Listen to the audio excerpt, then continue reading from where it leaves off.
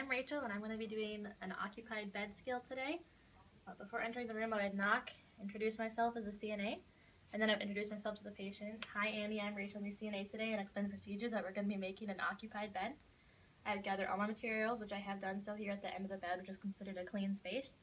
I would then wash my hands and identify the patient with two factors. I'd either look at the chart or at their wristband to make sure that I'm talking to the right person and performing the operation on the right patient.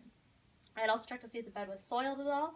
The bed's not soiled, which we're assuming it's not, I would put on gloves and then proceed with the procedure, but there's no need to put on gloves. So for that sake, we're just going to pretend that she doesn't have a soiled bed, and I would start by untucking the end of the bed. to get all of this. Thank you.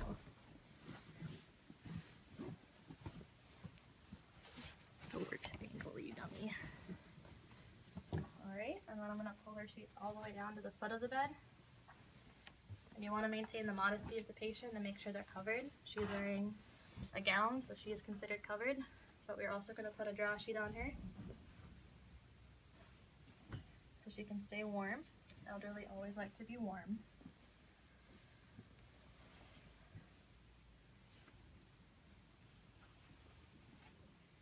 And if these were soiled, I'd put them in the laundry. Um, otherwise, we could fold them and put them back in our closet and they would be reused. But for the sake of the video, they're going in the laundry. Alright, and we have one bed rail up. So if I had an assistant in the room, the patient would be able be capable to roll over onto their side and hang onto the bed rail. So I'm going to have her roll over and explain to her what we're doing. And she would be able to grab the handrail Alright, then you're going to take the pillow once it's removed from under their head. May cause some discomfort. Remove the pillowcase. The pillow can then go on the bedside table or on a chair where it's considered a clean space, and the pillowcase would go in the laundry. And then we're going to remove the fitted sheet from this side of the bed. And the collar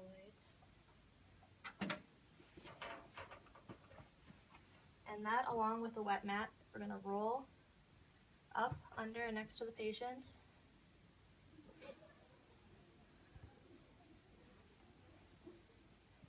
And then we're gonna grab our fitted sheet, the clean one, put it on this side of the bed. Make sure it doesn't touch the soiled sheet if it was soiled.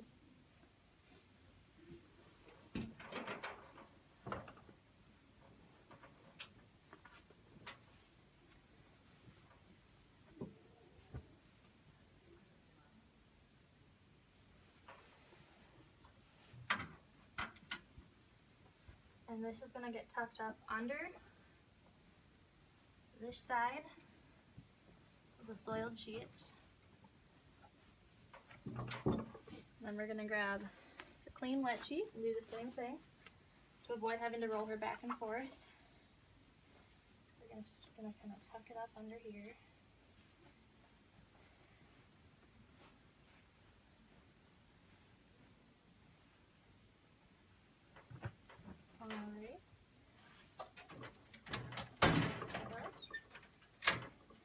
And then either with assistance or the patient would be able to do so.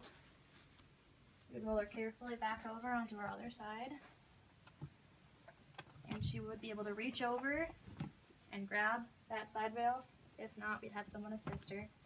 But we're assuming she's capable to hold herself on that side.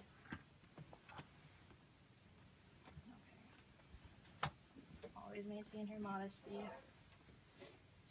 Alright. And now we're going to take the soiled linens on this side and roll them away from the patient so they're not contaminated.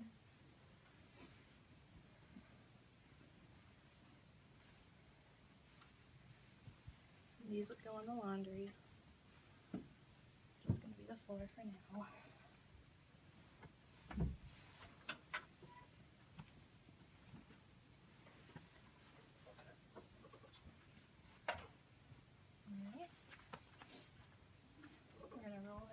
And she's comfortable. Alright, then we're going to top sheet here. Place this on top of the patient.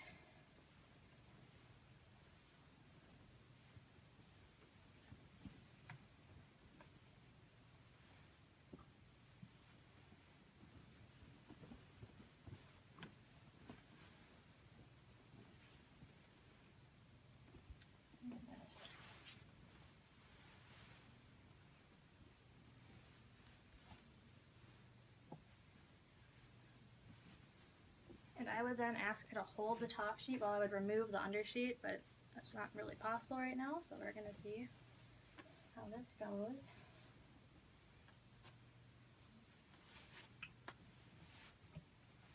Take the draw sheet out from under the top sheet. And this can be refolded and reused if needed. And then we're gonna tuck the bottom, and you can either do a pleated tuck or a regular tuck, but make sure that the sheets are always smooth and free of wrinkles to avoid abrasions on the skin. I'm gonna do a pleated tuck on this side.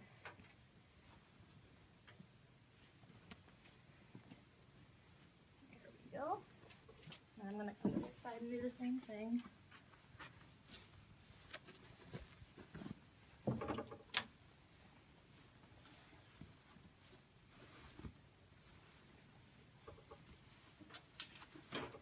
Alright, looks good.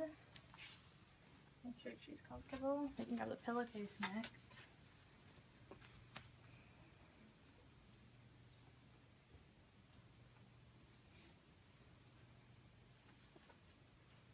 See how this is. Let's put the pillowcase on.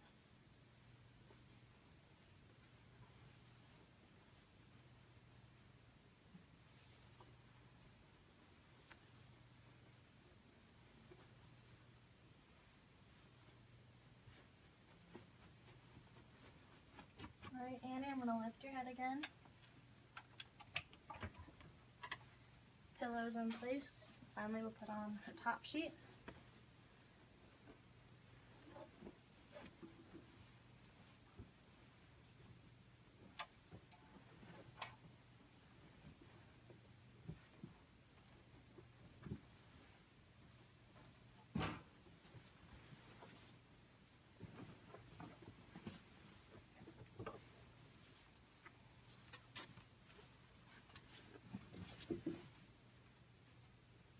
There we go.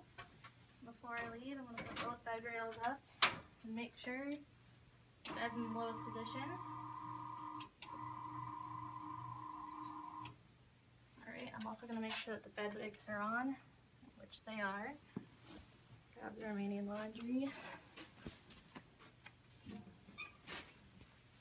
Make sure her call light's within reach. Make sure she's comfortable and let her know that I can come back if she ever needs the call light pressed.